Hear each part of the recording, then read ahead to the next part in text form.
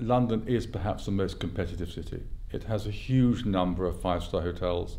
The eclectic mix of international and national travellers that are so discerning and require such a high level of service is why London will always strive and achieve the style of service that Forbes has awarded us for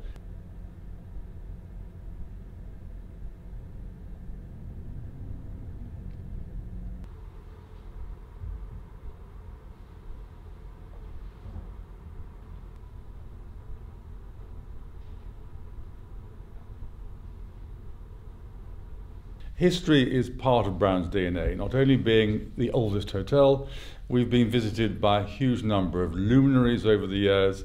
Um, yes, literary, art, fashion, luxury goods. We're sitting in the Kipling suite, named after Rudyard Kipling. Um, he penned uh, the Jungle Book whilst he was staying at Brown's, and we have a letter to uh, of provenance of that.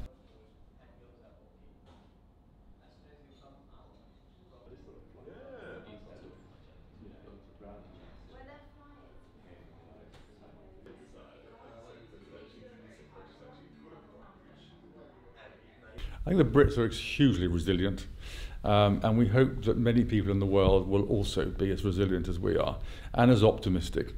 Uh, with the current chaos in the world, it is not a rosy future. Um, we are safeguarding our team members and taking all the precautions that we possibly can in relation to the government's uh, rulings. Um, and we, we are actually continuing to have a healthy business down on this time last year, as one would expect.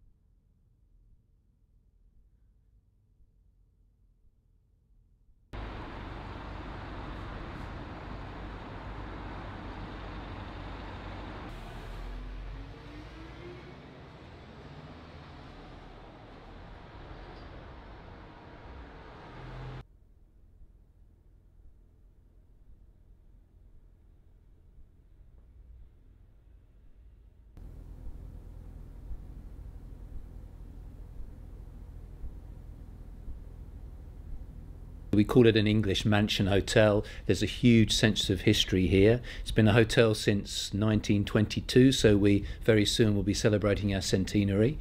Um, but it's not always been a hotel, it's been a private house. It's had a, a, a wonderful sense of place and history.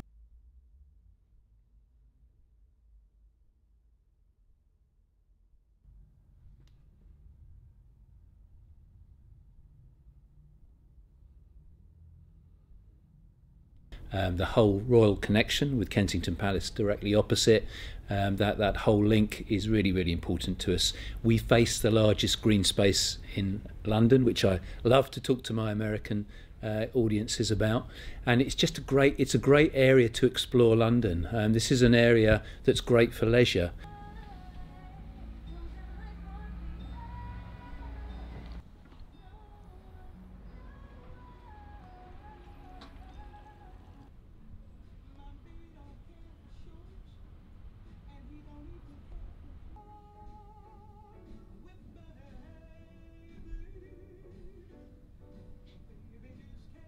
Some guests who've perhaps decided to change their travel arrangements um, have maybe said, okay, we're going to come a, a month later or two months later, we're just going to wait for things to die down a bit. So we're trying to take a very sort of sensible, acknowledging what's going on and, and be aware of it and take useful precautions, but not go crazy so that you disincentivize people to come to London at all.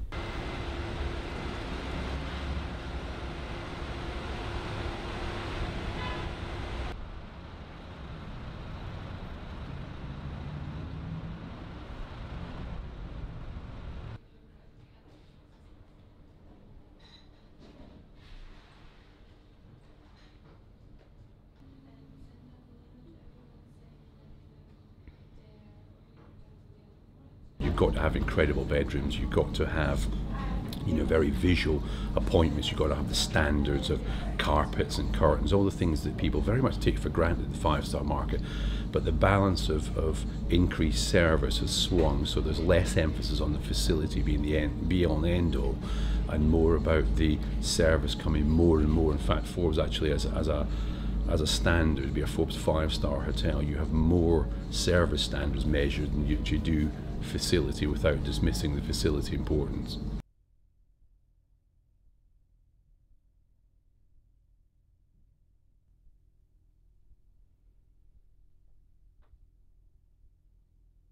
London's one of the great capitals of the world. You know, uh, selfishly and, biased, I would say it's the great capital of the world. But I think it, it, just speaks volumes for for the city. You know, its, its endurance throughout the years of, of you know strength has always been a strong place for hotels. Many leading hotels have always sort of been here and, and had their home here, and, and it's also a place that, uh, you want as a manager. You aspire to come and work in.